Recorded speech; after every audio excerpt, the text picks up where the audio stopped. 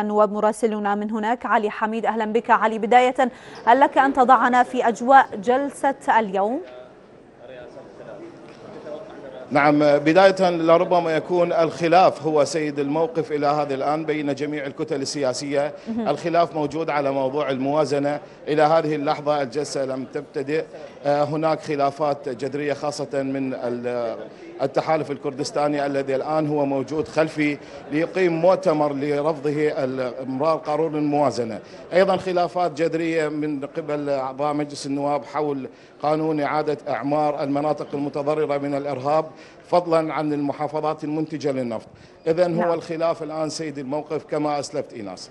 طيب نعم. يعني آه علي آه هنالك انباء تحدثت أنت قلت الآن هنالك خلافات حول التصويت على الموازنة وأيضا حول إعادة الإعمار، طيب هنالك انباء تحدثت انه الموازنة ستقر أو ستقر الأسبوع المقبل، ما صحة هذه الأنباء؟ يعني حتى وإن كانت هذه الخلافات هل ستقر فعلا؟ نعم ايناس لربما هذه أنباء فقط تشير إلى هذه اللحظة بأن الأسبوع المقبل سوف يكون قرار للموازنة، لكن إلى هذه اللحظة لم يكن هناك يعني معلومات تشاهد اليوم أن الخلافات هي سيد الموقف؟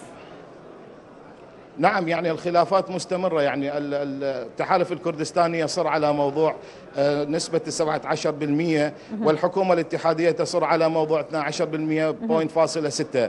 هذا هو الخلاف الأكبر يعني قبل قليل تحدثت لي النائبة عالية صيف بأن هناك خلافات جذرية حول هذا الموضوع. لربما سيؤخر قرار الموازنة إلى إشعار آخر. طيب ماذا عن النواب الكرد؟ هل حضروا جلسة اليوم؟ نعم النواب الكرد يعلنون بصورة واضحة بأنهم سوف يقاطعون جلسات مجلس النواب في حال لم يكون هناك موافقة على شروطهم المتعلقة حول إقرار نسبة 17% فضلا عن صرف الرواتب للبيشمركة وموظفين الإقليم. إلى هذه اللحظة اللجنة التي شكلت من قبل الحكومة الاتحادية وحكومة إقليم كردستان للبحث في موضوع رواتب الموظفين لم يعني ترد في تقريرها إلى هذه اللحظة. والخلافات لا زالت قائمة في هذا الموضوع.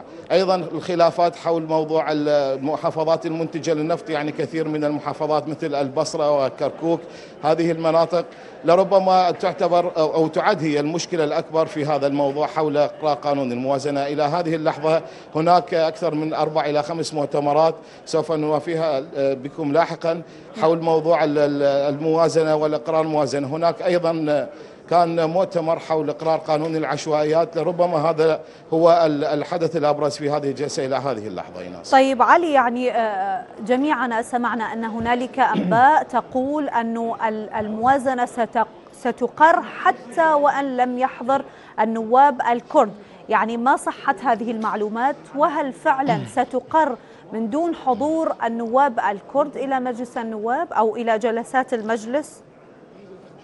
نعم ناس النواب الكرد يقولون بأن في حال إنه مررت الموازنة بأغلبية سياسية سوف يكون هذا يعني نتائج لا تحمد عقباها. لربما يكون هناك خطوط حمراء في هذا الموضوع.